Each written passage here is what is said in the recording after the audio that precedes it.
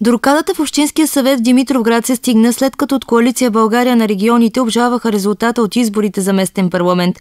Наложи се повторно преброяване в пет секции. Бяха открити и три действителни бюлетини, достатъчно на коалицията да влезе в Общинския съвет.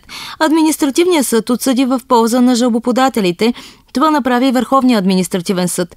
Именно в изпълнение на негово решение с нощи Общинската избирателна комисия заличи Виолета Желева от БСП, тъй като според новото разпределение столетницата получава два мандата. Мястото й Ангел Ангелов от България на регионите. Това става съобразно новото разпределение на мандатите в Общинския съвет на Димитровград, по пропорционалната система, определение по метода на Хеер Нимайер. Очаква се новият общински съветник да положи клетва на следващото заседание.